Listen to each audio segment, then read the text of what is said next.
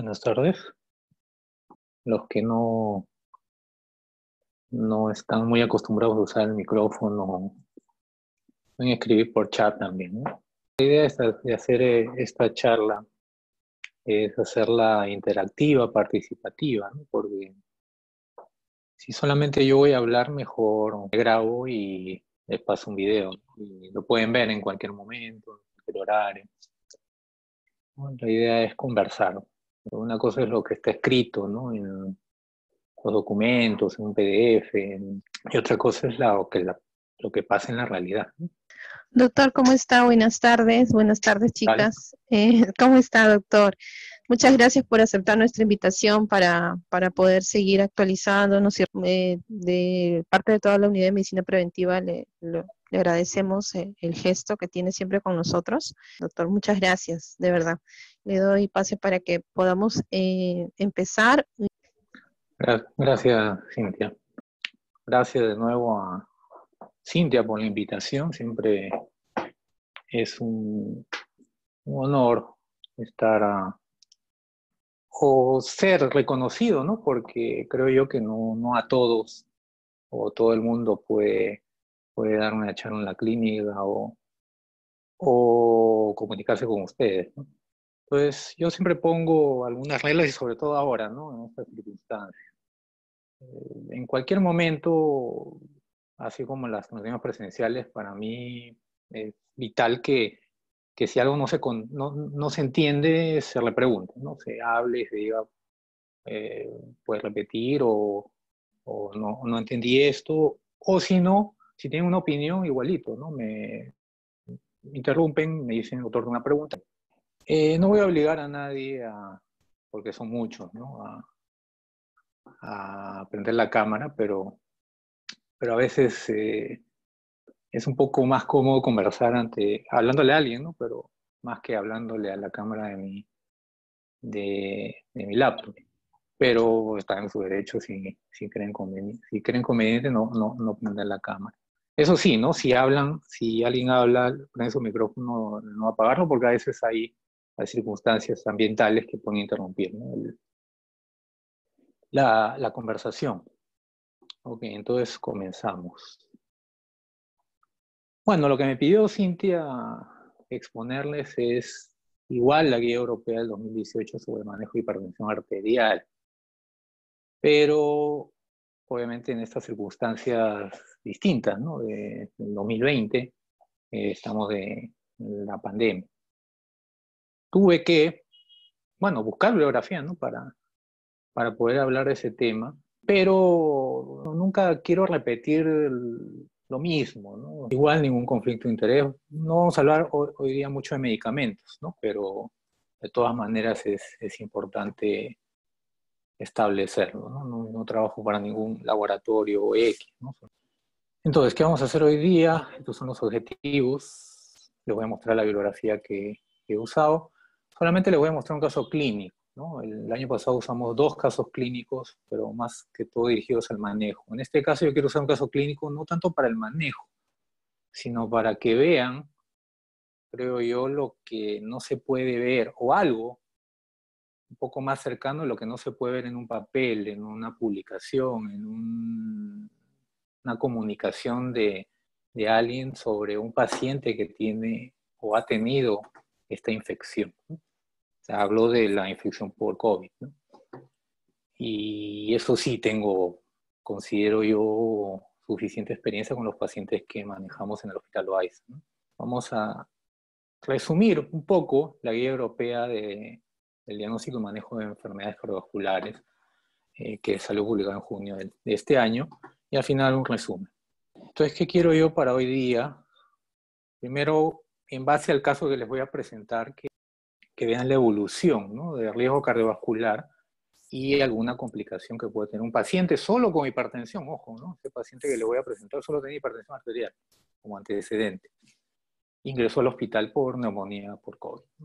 Y en base a eso aplicar algunos conceptos, ¿no? Relacionarlos a la, a la guía europea que les presenté, ¿no? de, sobre manejo de enfermedades cardiovasculares.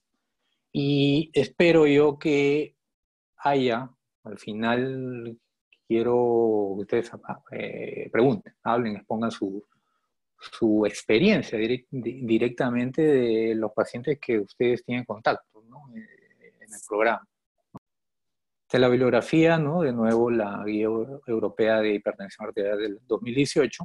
Y esta última guía de junio del 2020, como ven el título, es en general toda la mayoría de enfermedades cardiovasculares y complicaciones. Ok, vamos al caso. Un paciente varón de 56 años, ¿no? Ingresó a emergencia esa fecha, el 13 de agosto, estamos 29, ¿no? 16 días nomás, ¿no? Temprano, ¿no? Al hospital. Como les dije, el único antecedente que tenía es que usaba, que tenía hipertensión arterial, pero lamentablemente por el señor eh, usaba los sartán de manera irregular.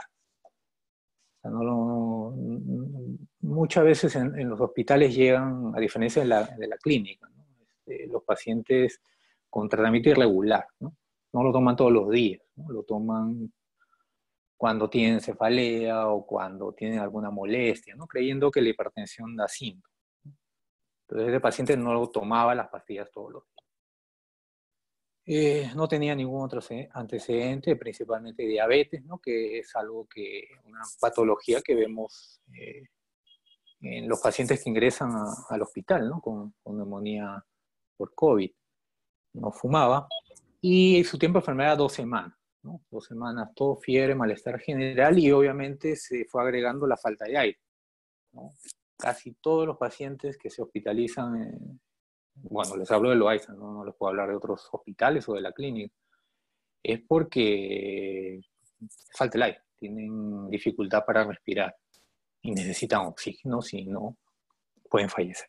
Y estas son sus funciones vitales cuando llega, ¿no? No era obeso, llegó con una presión de 120-80, taquicárdico, muy taquicárdico, y con taquipnea en 28. Y obviamente porque estaba taquicárdico, porque saturaba 60%. Llegó saturando así a la emergencia.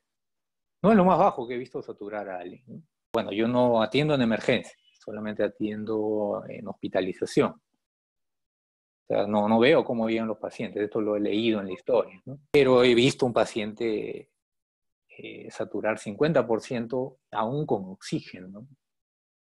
Pero los, algunos colegas me cuentan que algunos pacientes llegan a la emergencia hasta con 40% de saturación, llegan mal. Entonces ese paciente llegó así.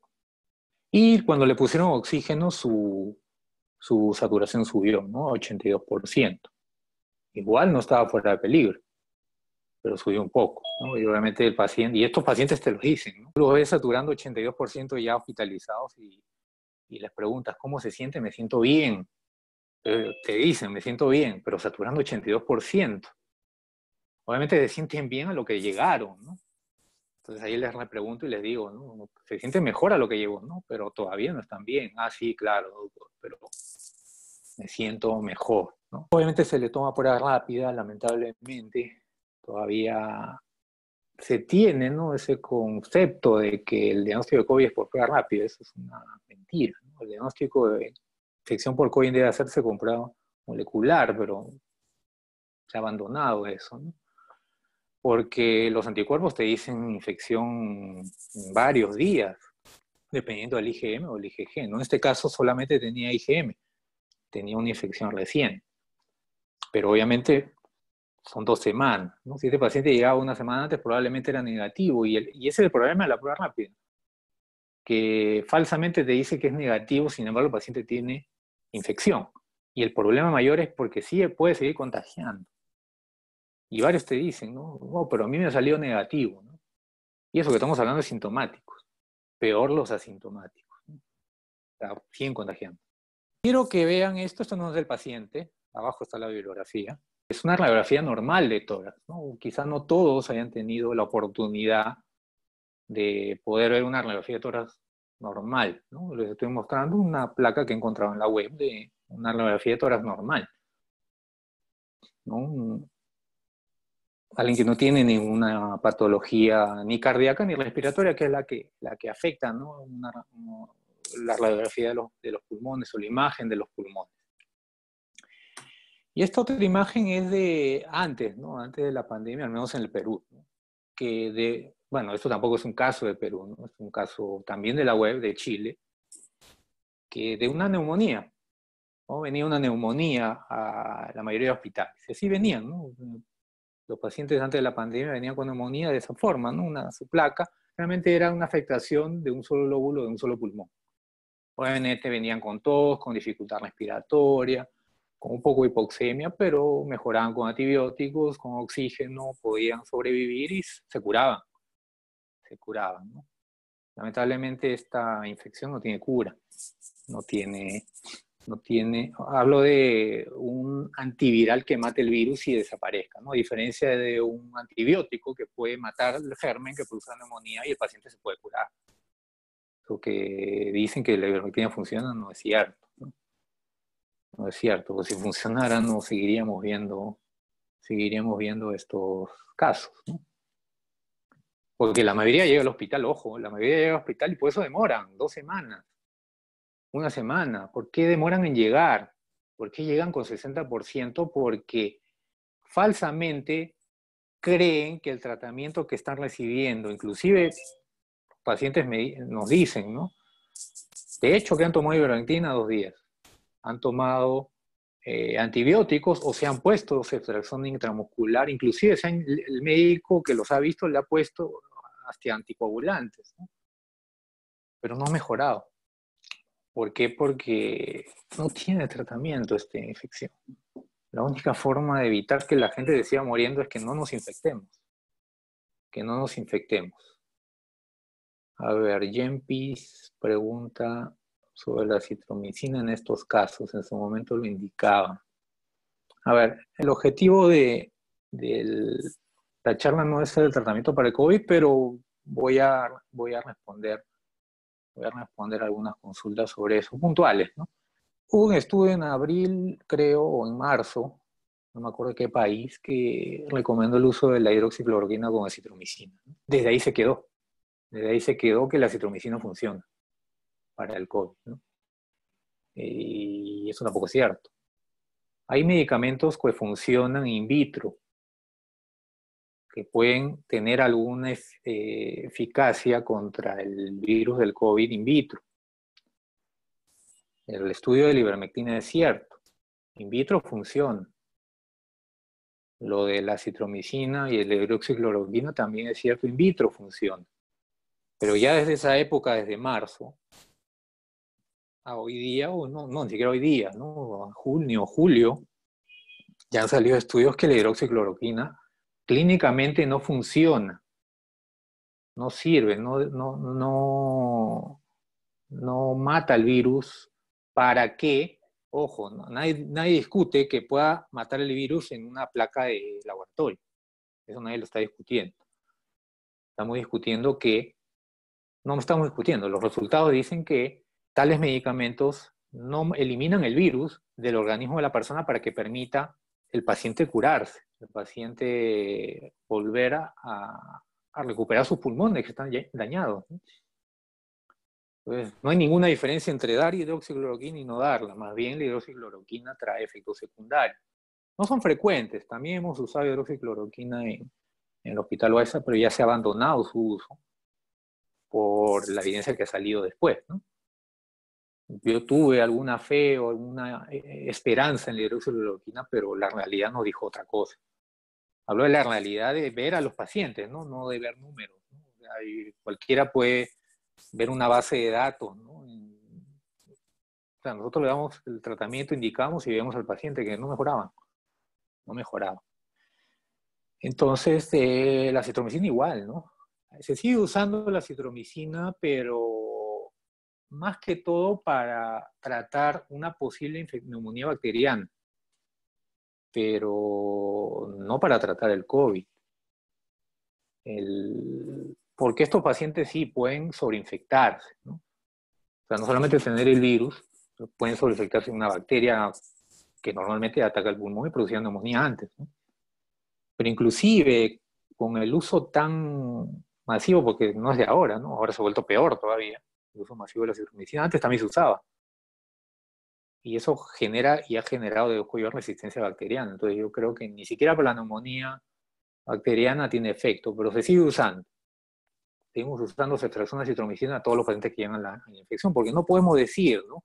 Si solamente tienen el virus del COVID o tienen bacterias en su pulmón. Entonces lo único que podríamos, podemos hacer es matar la bacteria que pueda estar en su pulmón y solo quede el virus para que su organismo elimine el virus. Entonces la citromicina tampoco es un tratamiento eh, dirigido, ojo, para la neumonía para el COVID.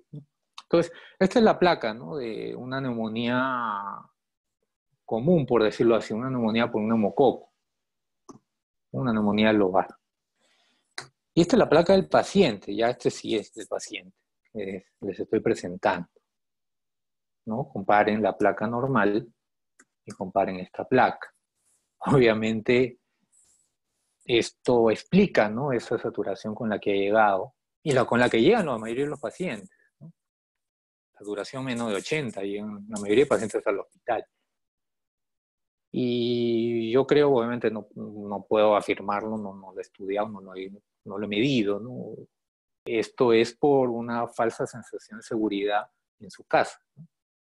De que estoy tomando ivermectina, estoy tomando la citromicina y por eso me voy a curar. Más bien está perdiendo tiempo. Está perdiendo tiempo de poder llegar al hospital y tener oxígeno. Porque lo que permite vivir a estas personas es el oxígeno. Y oxígeno a dosis altas, ¿no? Altas, ¿no? Que eso le permite dar un tiempo a que su organismo forme anticuerpos y, trate y se elimine el virus. Entonces llega con esta placa, ¿no? obviamente se ve. Entonces ahora vamos a abrir las participaciones. Pueden escribir por, por, por chat. ¿no?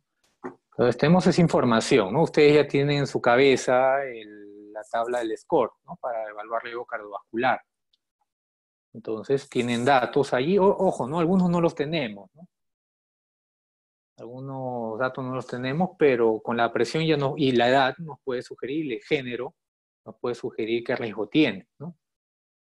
Y el valor de presión. Obviamente, lo único que nos faltaría sería el colesterol, ¿no? Pero sabemos que no fuma, sabemos que tiene 56 años, es varón, pero la mayoría dice un riesgo medio. Ahora, un riesgo medio, ¿qué significa? ¿Qué porcentaje de score? ¿no? el, score te da números, ¿no? Un riesgo alto, ¿qué porcentaje en el score es? Ya esto es pregunta abierta. Porque eso también tiene que tener claro, ¿no? Obviamente, verde, amarillo, rojo y más rojo este, son más o menos el tema de bajo, medio, alto y muy alto. Pero, ¿qué número es ese? Cualquiera puede responder por el chat. ¿De acuerdo? ¿No? 3% ya acá, muy bien, Catherine se está animando a participar. No, bueno, no les voy a decir el rango porque si no le estoy dando la respuesta. ¿no? La idea es que eso también lo graben o lo hayan tenido grabado si ustedes aplican ¿no? el score. Teóricamente han tenido un año para aplicar el score que diría yo, a 10 pacientes por mes o más, ¿no? Pues si yo le aplico a todos mis pacientes el score, se me va a grabar, ¿no? Porque se me queda grabado porque lo estoy viendo, no estoy aplicando, estoy aplicando, estoy aplicando. Entonces, si no hay una respuesta uniforme, o más aún, perdón, si solamente se han animado dos, cuatro, seis personas a responder, puedo deducir. Y en, y en ciencia de la salud es a veces eso, ¿no? A veces puedo hacer un estudio de investigación, un trabajo, un protocolo para medir cosas. Y las puedo demostrar midiéndolas, ¿no? Pero algunas cosas se pueden deducir. Entonces yo, si solamente opinan dos, cuatro, cinco, seis personas de 32, entonces el porcentaje de aplicación del score es muy bajo. Muy bajo. Entonces el impacto que ha tenido el doctor Guillén hace un año de poder ¿no?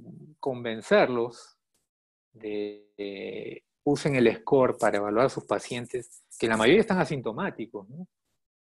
La mayoría pasan cinco años o más en el programa sin tener siquiera un síntoma, sin tener un evento cardiovascular, lo cual es muy bueno.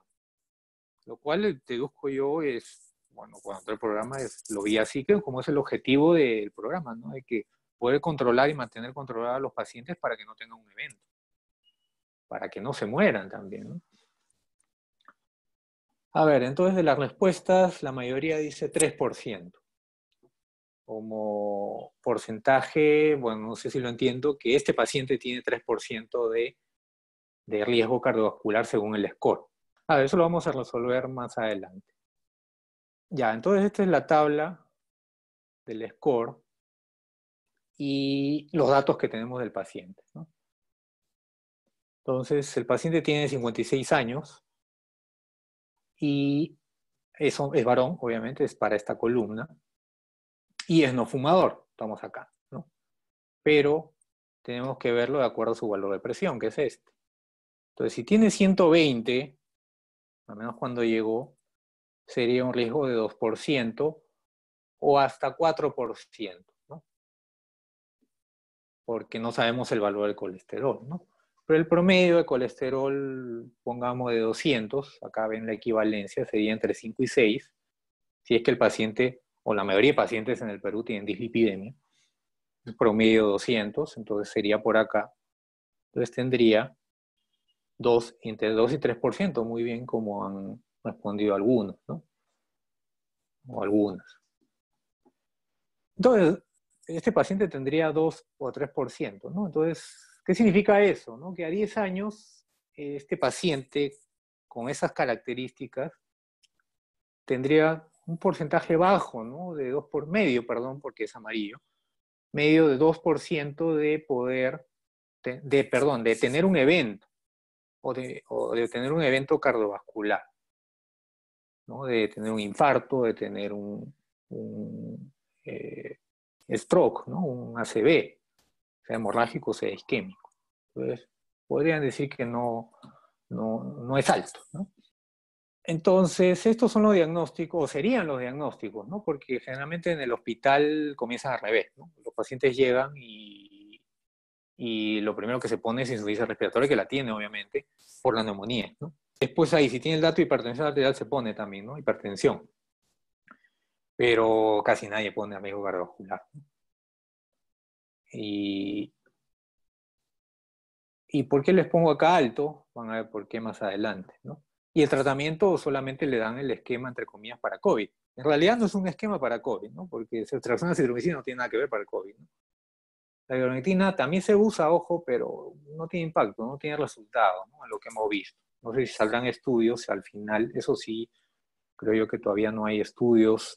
Obviamente, bien diseñados, ¿no? Bien controlados porque cualquiera puede exponer su, experiencia, ¿no? Pero eso no necesariamente es la realidad que va a funcionar en todos. Quizá funcionó solo en esas personas, pero el problema de un estudio que no está diseñado para de eficacia de medicamentos es que pueden haber otros factores que hicieron que ese paciente se recupere. También hay gente que se ha recuperado sin tomar ivermectina si a ese paciente le dan ivermectina, igual se va a recuperar. Hablo de ese ejemplo que, de alguien que nunca, se, nunca tomó ivermectina. Pero al inicio no le dieron este antihipertensivo, ¿no? Ni a los sartán que tomaba, porque tenía 120-80, ¿no? Estaba controlado, teóricamente. Y estas las curvas, yo lo he tabulado, ¿no? En un Excel y he sacado una curva y sacado una curva de supresión, solo, solo de su presión arterial sistólica y diastólica durante su hospitalización. Acá tenemos los datos desde el 13 de agosto hasta el 25 de agosto. Sus valores en la, en la historia clínica. Yo tampoco es que yo le he medido la presión, he sacado los datos. Bueno, yo sí le he medido porque estuve de guardia el día 15. Esa presión yo sí la, se la medí, ¿no? La de 180 sobre casi 100 en una guardia de noche que tuve, yo, yo le medí esa presión. Y por eso conozco a este caso, a este paciente. Entonces, esta es la evolución de la presión. Acá ya recién, obviamente, con esa presión le indicamos el tratamiento con antihipertensivos y probablemente por eso es que empezó a bajar. ¿no? Si bien la diastólica se mantuvo casi siempre por debajo del valor meta, ¿no? que es 13.8. ¿no?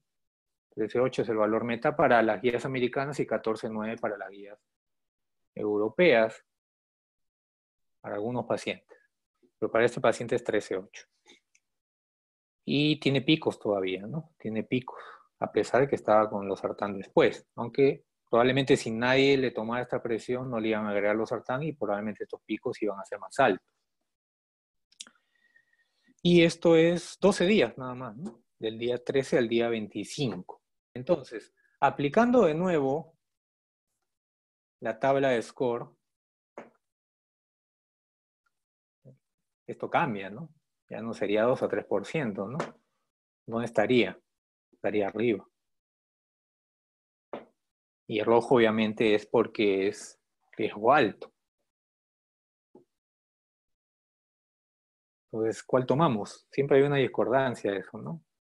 Eh, ¿Qué valor de presión tomamos? ¿no? El, problema, el problema del score, a diferencia del, del score de riesgo de la AJA, es que no te corrige por tratamiento. No es igual tener una presión 120-80, que es con el que el paciente llegó, ¿no? Los pacientes, eso sí es, es completamente comprobado. O sea, los pacientes toman su pastilla para la presión, casi todos, generalmente cuando están mal. Entonces, este paciente que estaba mal probablemente tomó la pastilla de la presión hasta un día o el día que llegó. Quizá por eso llegó con 12.8. ¿No? Dejan de tomarlo cuando se sienten bien. Pero obviamente el efecto de la pastilla dura máximo 12 horas. Algunos pueden durar, ¿no? si la presión no es muy elevada, hasta 24 horas, pero más allá no dura. Entonces este paciente llegó el 13 y obviamente al día 15 ya no había ningún efecto de ningún medicamento. Por eso subió la presión. Y esa es su presión real. No es 12.8. Su presión real que le da riesgo cardiovascular, que le da riesgo de tener complicaciones, es ese, el 180. Entonces, en realidad el señor tiene un riesgo alto de tener un evento cardiovascular cualquiera. Y esto también está en las guías, se lo recuerdo, ¿no? Es el tema de cómo, cuándo considerar un riesgo alto. Independientemente de que me salga, porque ojo, ¿no?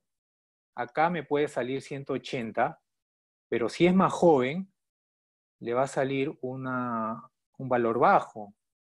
Pero es un valor bajo y real, ¿no? Porque 180 no va a tener ahí el paciente paseándose. Entonces la guía te dice eso, ¿no? La guía te dice que a cualquier paciente que tiene 180 o 110 o más, tienes que considerarlo como un riesgo alto. Tienes que controlar la presión, tienes que controlarle si tiene diabetes, tienes que controlarle eh, si te amerita usar aspirina, ¿no? A ver, hay una pregunta de Jempis creo que es Jennifer, ¿no?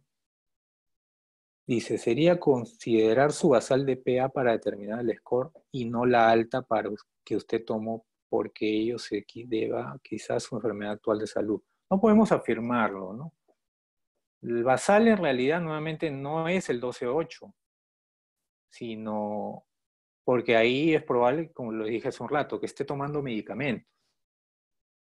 Y eso es lo que corrige el, el score de la guía americana, que te da una calculadora, que te corrige el valor porque tú le das un dato de que está tomando antihipertensivo. Pero el score no te corrige eso. Entonces, para que tú evalúes el riesgo de morirse, ojo, porque todo riesgo cardiovascular, uno de los eventos es morirse. Morirse de una muerte súbita, ¿no? Porque la deformación que ocurre en el corazón por la hipertensión puede darte una arritmia y eso te puede producir muerte. Sin antes de eso tener un infarto, si antes de eso tener una insuficiencia cardíaca. O producirte una, una hemorragia cerebral masiva y también matarte. Entonces, cuando hablamos de riesgo cardiovascular, tenemos que decirle eso a los pacientes. Señor, usted tiene 5%, considerando que 5% es eh, alto, ojo, acá ya se lo está poniendo, un riesgo en el score, un riesgo alto es 5% o más de tener un evento y de morirse también. Entonces, nosotros si estamos hablando de muerte no debemos minimizar las cosas. Más bien debemos tomar el dato más grave. Y como han visto acá, el promedio de este paciente en la curva no es 12.8, su, valor promedio, su valor este, basal no es 12.8. Si vemos acá el promedio es por lo menos 2, 13 o 14 y aún con medicamentos. Porque la presión es así, eso es otra cosa que no se comunica, ¿no? que no se les dice a los pacientes. Ustedes o yo o quien sea que vea a un paciente le toma la presión en ese momento, en el día, pero no sabemos cómo está en la noche o en la tarde, si está en la clínica, no lo sé, pero no sabemos cómo estaba en la mañana o cómo estaba en la noche. Si estaba normal no significa que no estaba alta en la, mañana o no estaba alta en la noche. Entonces es una foto de ese momento.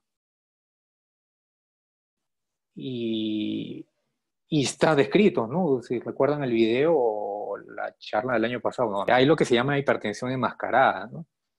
que es que yo puedo ver al paciente todos los meses y su presión está normal y va a su casa y su presión está elevada.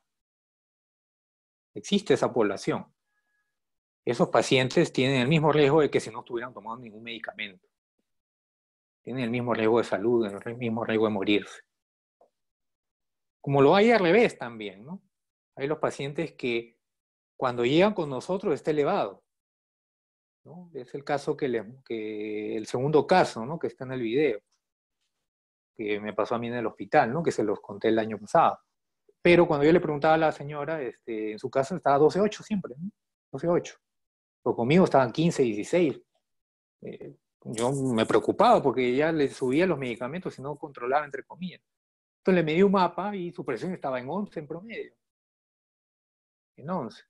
Y es lo que se llama efecto bata blanca.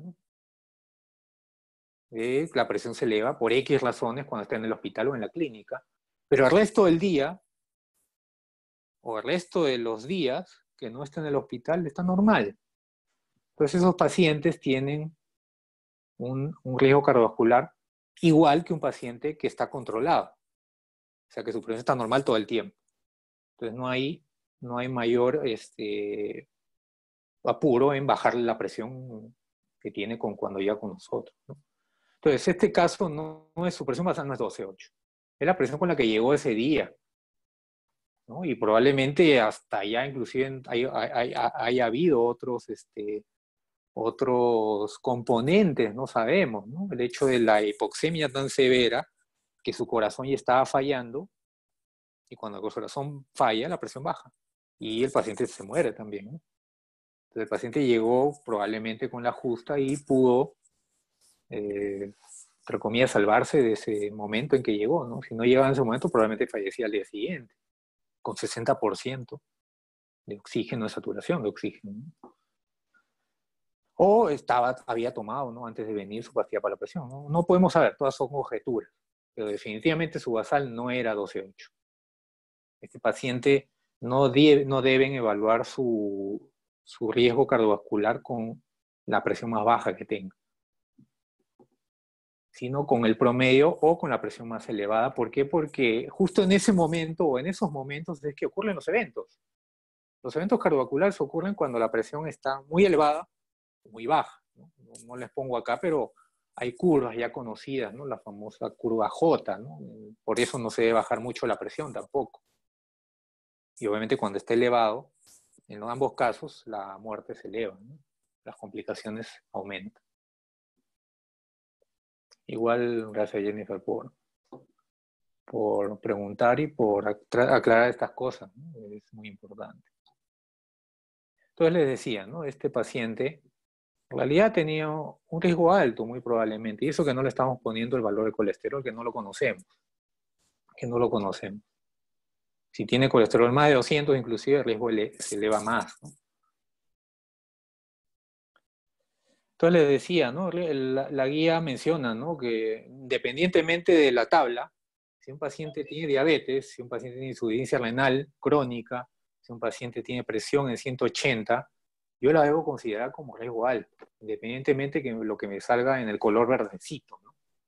debo considerarlo como riesgo alto. Y eso le a decir, ¿no?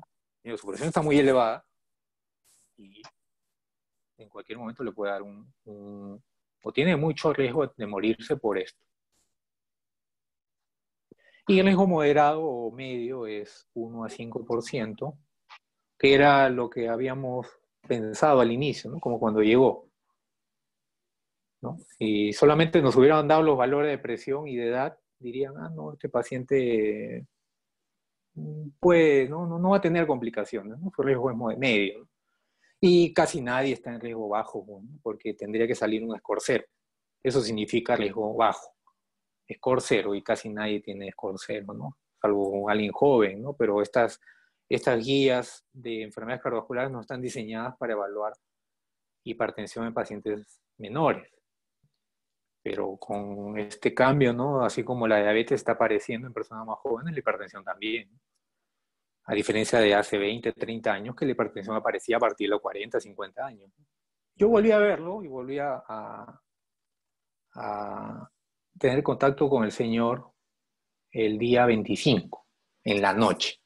O inclusive eh, reportan ¿no? que el 25 de día tenía presión en... Acá está, ¿no? Este es el 25 de día. 12.8, igual como cuando llegó, ¿no? Pero cuando yo lo veo, aparentemente estaba tranquilo, obviamente estaba igual de saturando, pero le mido la presión y estaba baja, 82-50. Y reviso el cardio y ya no le estaban dando antihipertensivos, ¿no? Entonces, ¿por qué el paciente estaba con la presión baja? ¿Se les ocurre? ¿Cualquiera? Y estaba desorientado, ¿no? Porque inclusive yo le preguntaba, ¿no? Señor, ¿cómo se siente? Eh, me siento bien, me decía, pero estaba medio somnoliento. Definitivamente no estaba bien. Estaba, obviamente, con dificultad respiratoria, seguía con dificultad respiratoria. ¿Por qué la presión estaba baja? ¿Se les ocurre a alguien? Ajá, Shirley pregunta la saturación.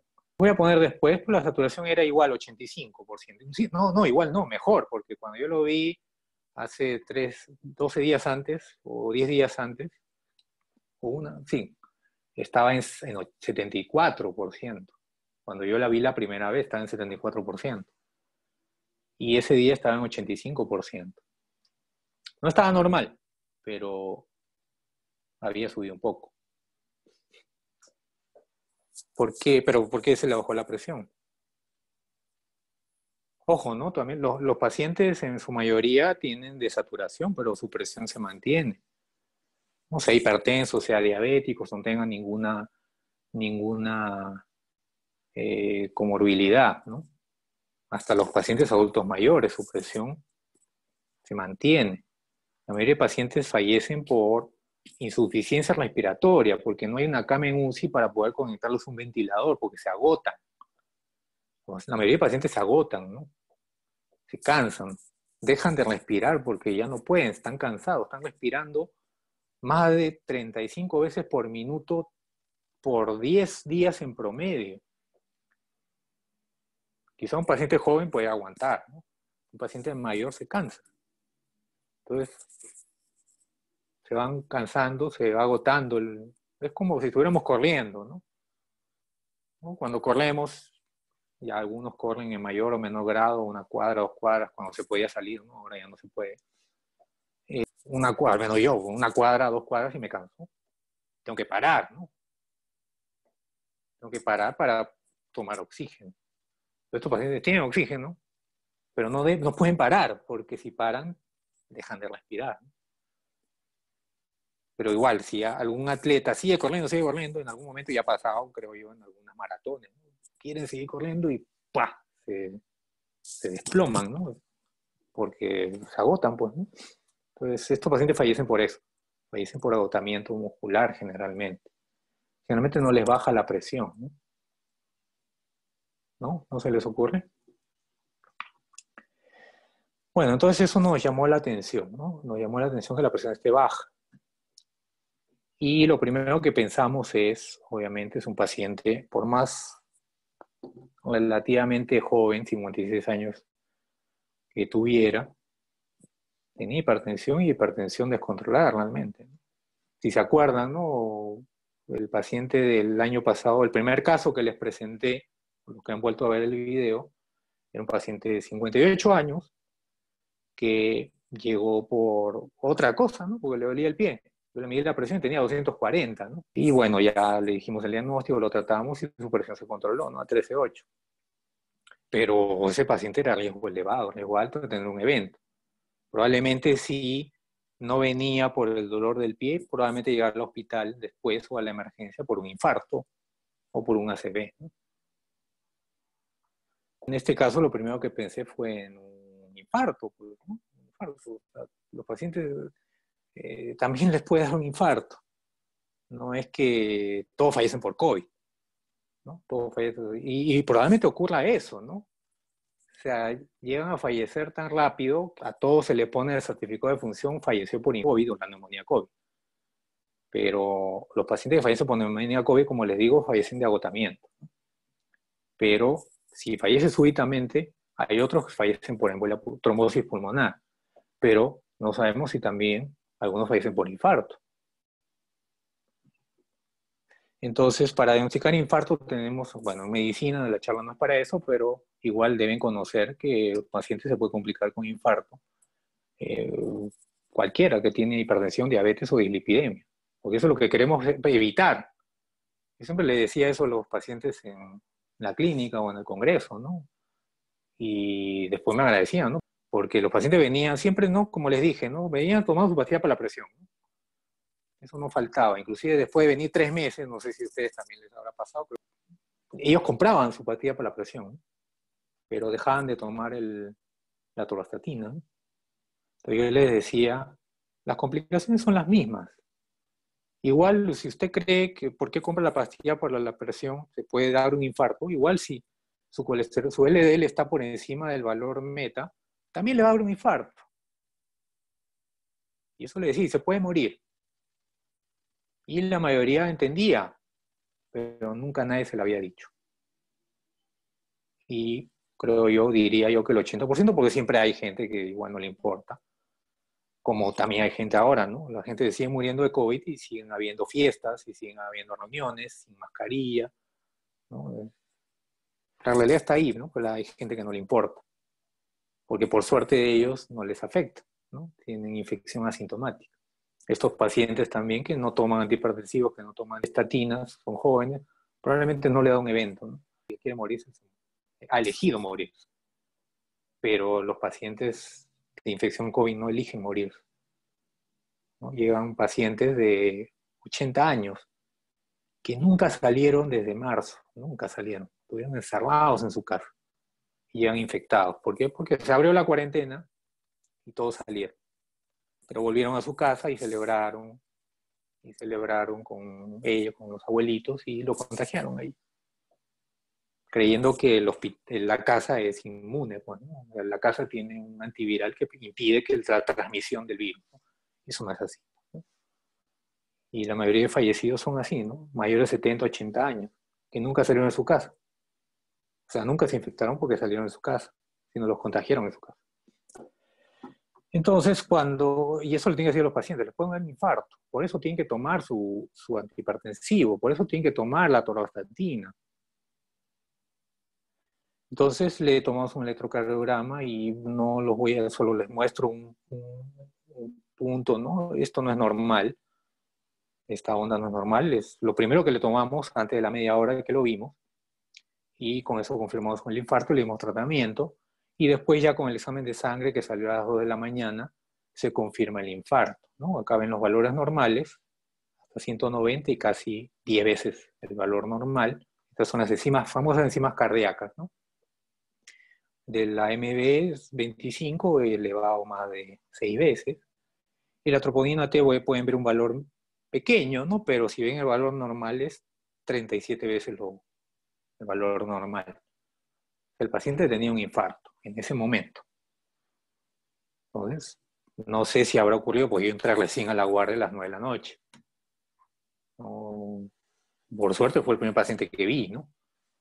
Y ya le fuimos dirigiendo a la enfermera de turno que todo el manejo, ¿no? poco de fluidos, la aspirina y el manejo de, infarto. Y, pero igual el pronóstico del señor era, no, era bueno, ¿no? no era bueno. Y muy aparte, ahorita estamos hablando de un infarto, pero acuérdense cómo estaba su placa y que sigue saturando 85% con oxígeno, con máscara de reservorio, con 15 o más de 15 litros por minuto. Y aún así con eso saturaba 85%. Y esta es la evolución, ¿no? La evolución subió un poco a 92.50. Esas son las funciones vitales. No tenía taquicardia y eso llama la atención. De ahí lo controlamos hasta las 11 de la noche. Subió un poco más su presión. Y después ya tuvimos que salir. Bueno, no, tampoco podemos exponernos este, las 12 horas, ¿no? Ahí este, en el pabellón, ¿no? Y le dijimos a la enfermera de turno que nos comunique si pasaba algo, ¿no? Y el paciente no, no se complicó esa noche, lo reporté igual al médico de turno, que hemos diagnosticado, el paciente ha tenido un infarto y que le hemos iniciado tratamiento, pero igual el pronóstico no es bueno, ¿no?